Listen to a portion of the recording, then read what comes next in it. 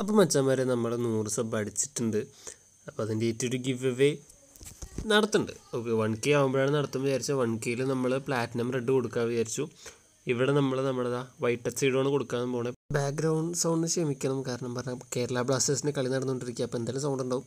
അപ്പോൾ ഒന്ന് ക്ഷമിക്കണം എല്ലാവരും വൺ കെ ആകുമ്പോൾ നമ്മൾ പ്ലാറ്റിനം റെഡ് ഡംബോ ഇയർ ആണ് കൊടുക്കാൻ പോകണമെങ്കിൽ ഗിവ് വെയിറ്റ് അപ്പോൾ വൺ കെ ആവുമെന്ന് പോലും എനിക്കറിയാൻ പാടില്ല. പക്ഷേ വൺ കെ ആയി നമ്മൾ എന്തായാലും ഗിവ് അവേ നടത്തുന്നുണ്ട്.